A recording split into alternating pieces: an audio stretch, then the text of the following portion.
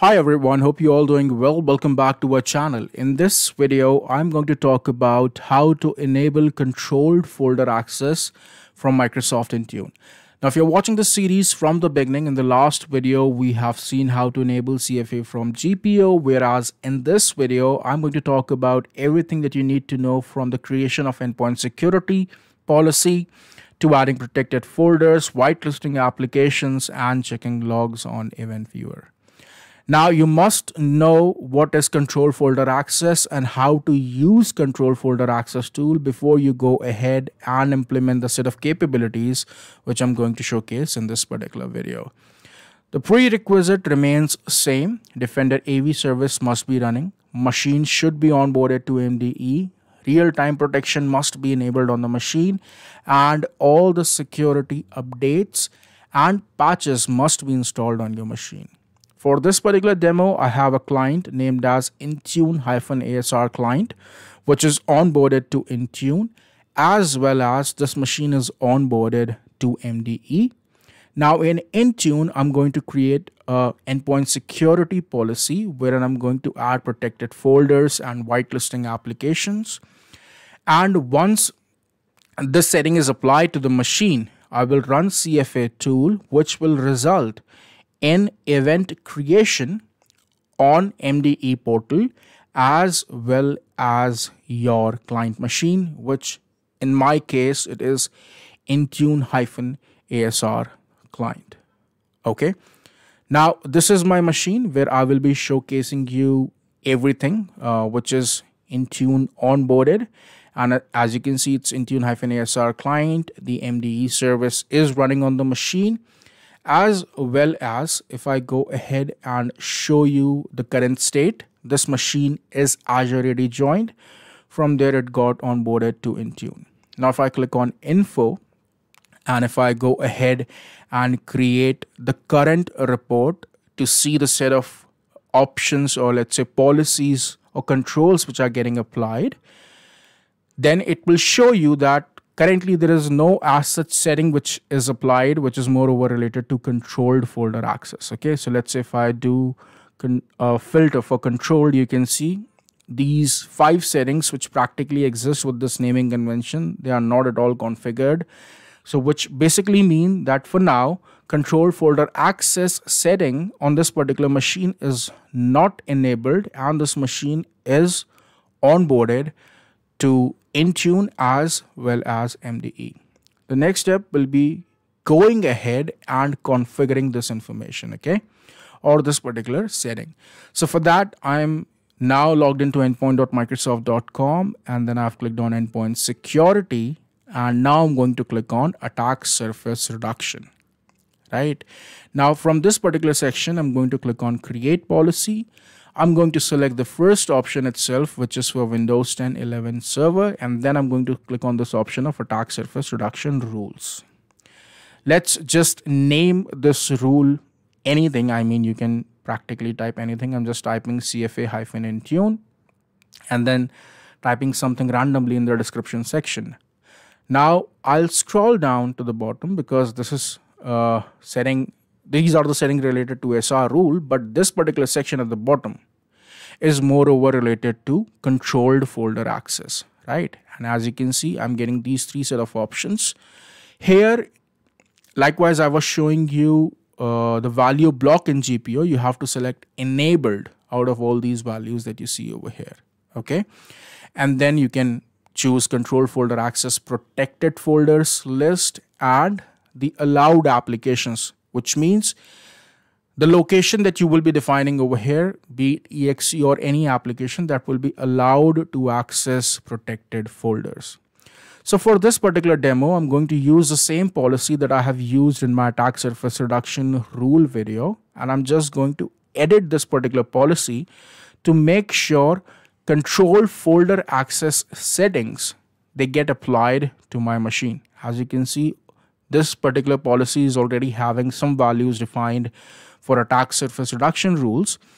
But now I'm going to enable CFA as well from this particular policy itself. Okay, so I'll scroll down to the bottom and then I'm going to select enabled option from here and in controlled folder access protected folders section I'm going to give the same value which I was giving in my group policy object video which is C concepts work and then here again I'm going to give the same value which basically means adding the exact location where the exe exists okay which is C Windows System32 Windows PowerShell v1.0 PowerShell.exe.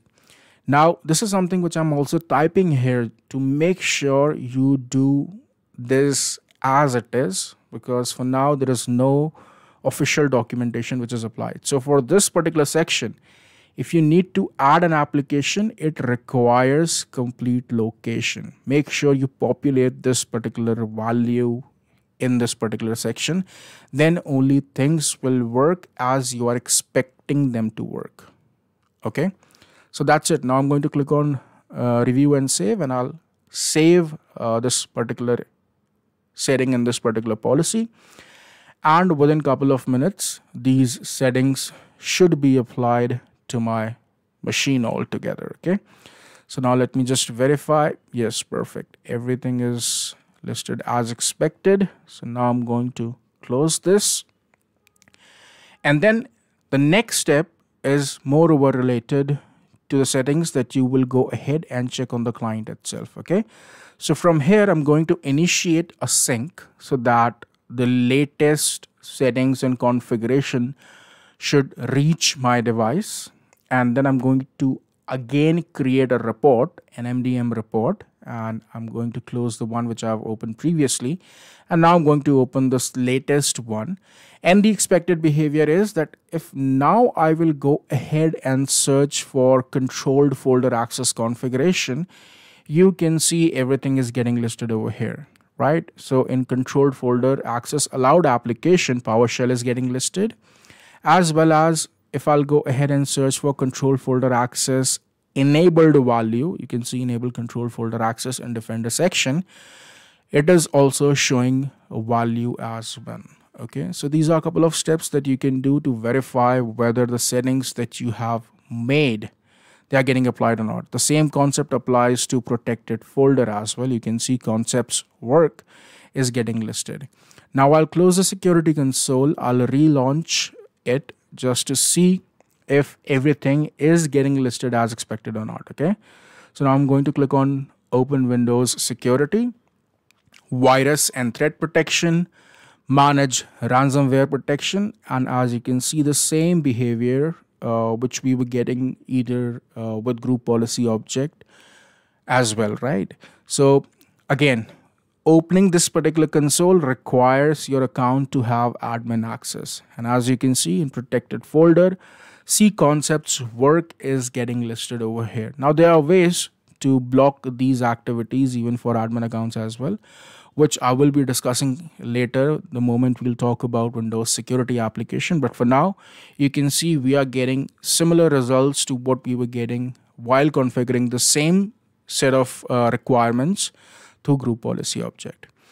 Now let's go ahead and download CFA tool. Again, the same uh, set of testing that we have done in our last video just to make sure everything is working as expected. I'll again go to this particular article and here every uh, demonstration file is available. So for this particular demo, we need the one uh, with which we can go ahead and uh, you know create a folder uh, in a specific location, which is my protected folder itself.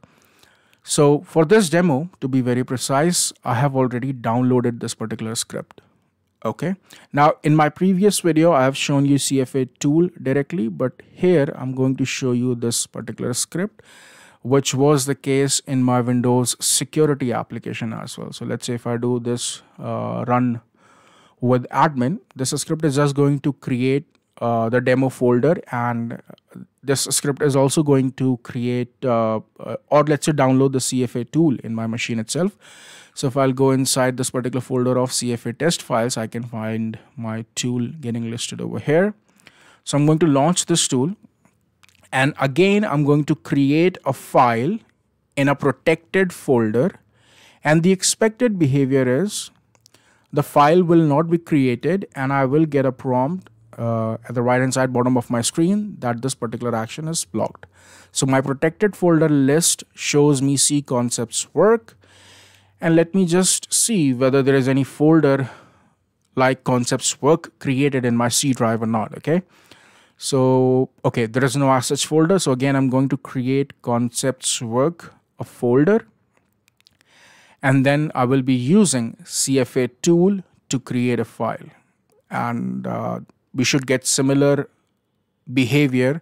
Likewise we were getting this you know uh, in our GPO video as well. Yeah so it's getting listed over here. I have a C concepts work folder now. Let's go ahead and create a file with again some random extensions in my custom path which is concepts work. Okay there is a typo. Let me remove that. Yes now let's just change this file name value and let's just type sample CW and I'll click on create file. As you can see the file is not created but if I'll wait I'll get the same message at the right hand side bottom. Now let's say if I click on it I can go ahead and check more detail in terms of uh, you know what was blocked and what not. Now this section remains same uh, for all the three types. So you can just go ahead in event viewer and read these logs uh, to be very precise. And they have three different IDs. So let me just launch event uh, viewer quickly. And again go to that particular location of application and service logs. And then inside this I'll go to Windows.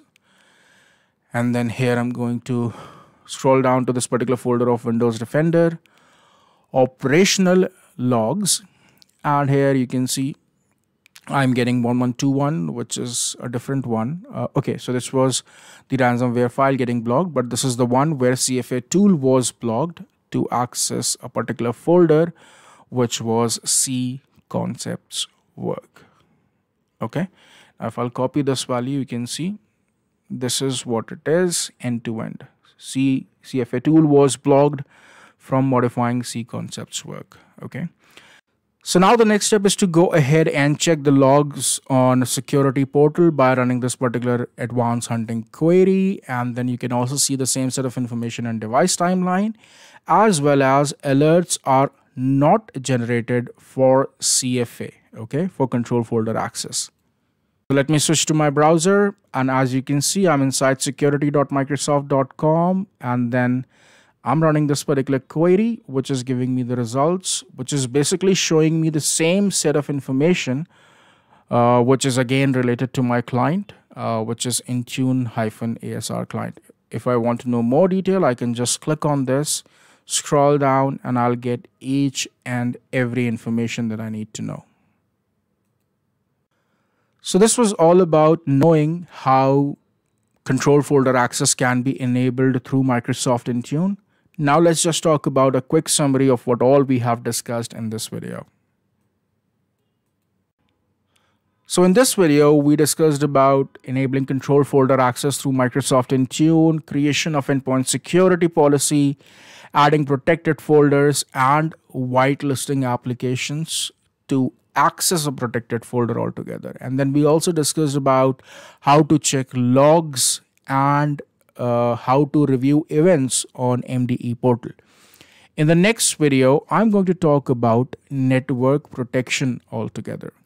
So if you think that this channel is helping you to learn anything new, please feel free to subscribe and share this video with your technical community. Thank you so much. Thanks for your time.